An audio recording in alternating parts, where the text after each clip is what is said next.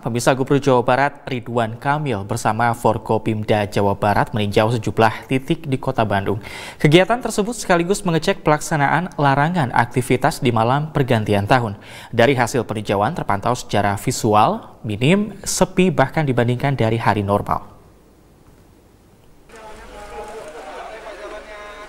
Ditemani Kapolda Jabar Irjen Polisi Ahmad Doviri, Pangdam 3 Siliwangi Maijen Nugroho Budi Wiryanto serta Wali Kota Bandung Odet M. Daniel dan Kapolres Tabes Bandung Kombes Polisi Ulung Sampurna Jaya, Gubernur Jawa Barat Ridwan Kamil mendatangi kawasan Jalan Asia Afrika, alun-alun Kota Bandung hingga kawasan Jalan Dago. Tempat tersebut menjadi sorotan oleh pemerintah karena saat momen tahun baru menjadi tujuan wisatawan. Namun, momen pergantian tahun di kawasan tersebut hingga jalan-jalan lengang hampir tidak ada aktivitas.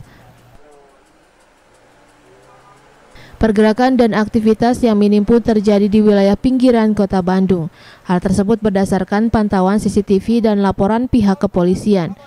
Hal tersebut mengindikasikan kepatuhan warga dalam mengurangi pergerakan aktivitas di jalan saat malam pergantian tahun. Di satu sisi, ia mengaku prihatin dengan momen pergantian tahun yang biasanya ramai menjadi sepi karena pandemi COVID-19. Tahun 2020 pun dianggap periode tersulit yang dihadapi oleh semua masyarakat. Di Ibu Kota Jawa Barat ini, eh, kebetulan dari laporan Pak Wali Kota, tim level kota sudah bergerak juga ke pinggiran-pinggiran untuk melakukan pengecekan Sampai saat ini sekitar jam 10-an terpantau secara visual pergerakan sangat minim bahkan lebih sepi dari hari-hari normal ya.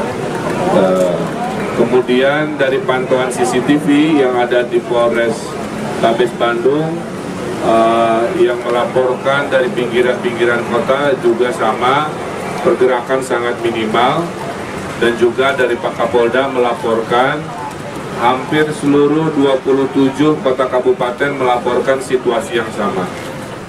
Namun ia berharap ada hikmah yang bisa diambil dalam setiap kesulitan tersebut. Tahun depan menjadi momentum membangun kembali optimisme dan memulihkan situasi. Yuana Kurniawan, Bandung TV